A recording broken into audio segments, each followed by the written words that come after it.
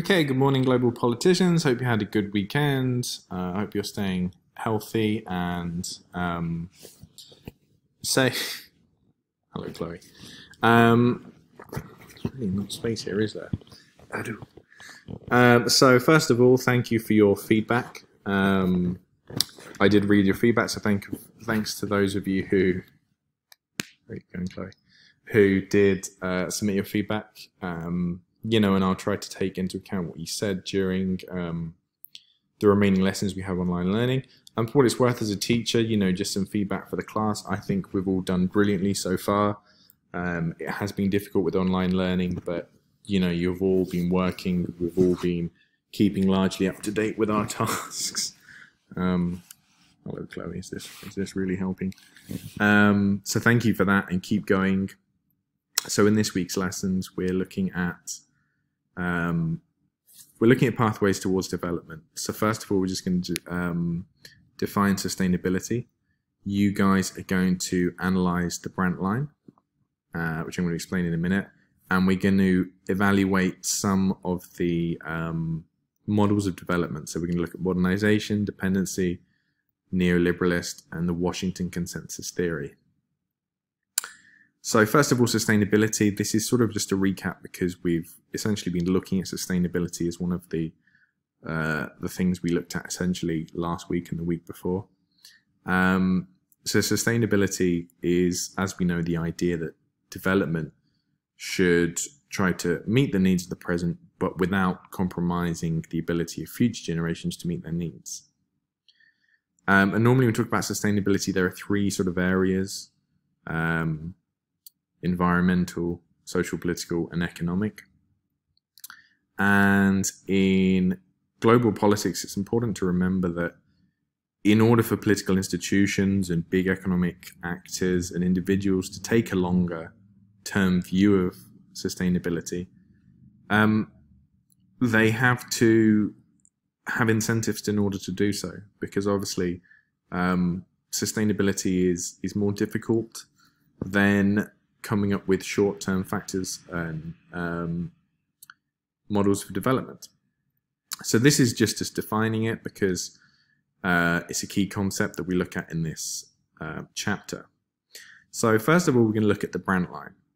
So the Brandt line is a line that is drawn roughly dividing north to south, or as you can see, that squiggles down to include um, Australia and New Zealand. And Basically, you have your developed nations or your rich nations in the north, and you have your poor nations or developing nations in the south.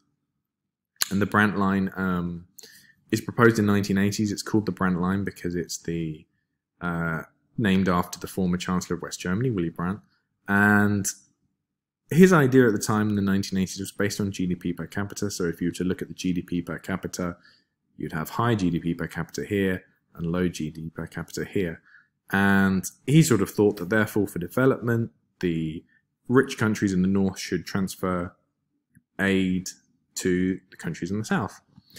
So what I want you to do is why is or why in 1980 was there the case where you clearly had richer nations in the north and poorer nations in the south? Is it due to political factors? Is it due to economic factors? Is it due to environmental factors? Is it due to social factors?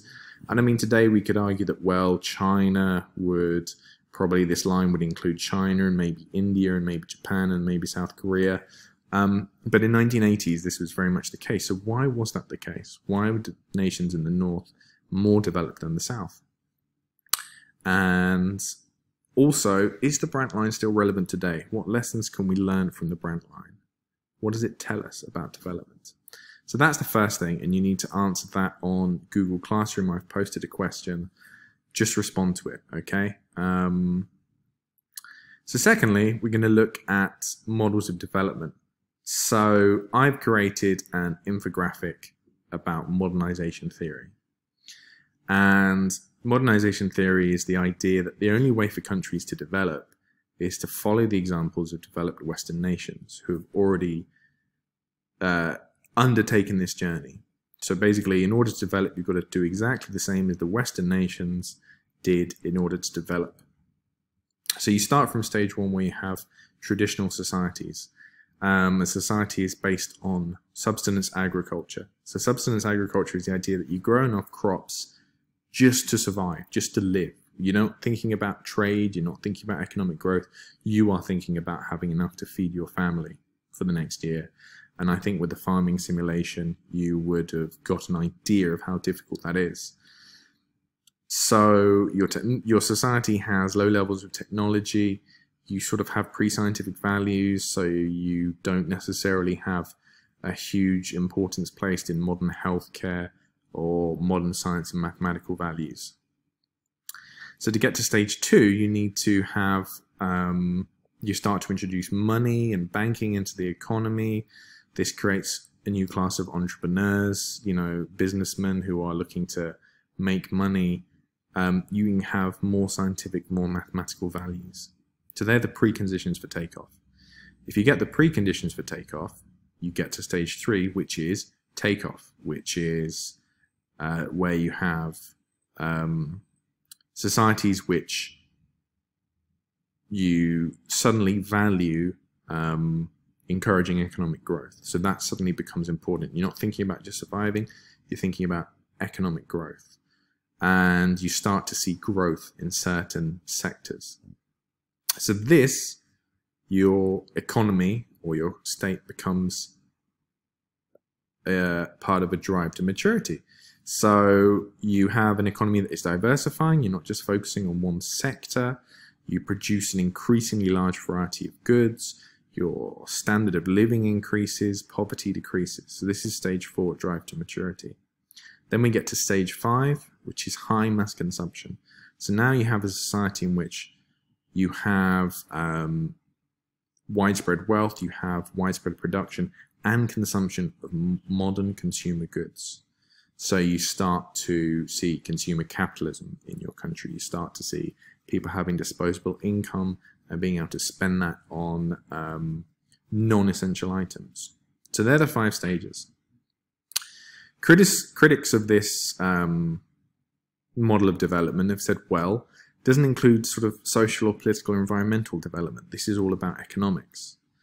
Um, and the obvious criticism of this as well is that it's incredibly ethnocentric because it's based on what happened to the Western nations.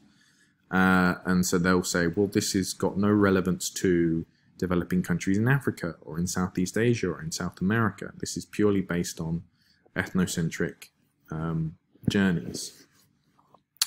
And it's also based completely on free market consumer capitalism. Um, and so that completely uh, means that if you are not a free market capitalist nation, then you can't really develop. So what you need to do is you need to create an individual infographic based on your model of development. So Jonathan, Kevin, Rachel, Jordan, you're doing dependency theory. So you're not doing it together. You're all individually going to make an infographic on dependency theory. Sean's and Nora, you're doing neoliberalist theory, and Andin, Jean, James, you're doing Washington consensus theory. Uh, you can use any platform you want to make your infographic. You can, you know, Canva is quite good, uh, Photoshop, you can use Pages, um, whatever you want. You can draw it by hand if you want. But when you're finished, you need to upload it to your slide. Uh, you've all got a slide with the title. Um, make sure it's in landscape. That's the only um, thing you have to make sure. Um, I've attached some materials to Google Classroom to help you with this, to help you with your research. Um, and your infographic must include a summary of the theory, sort of some explanation or stages of the theory.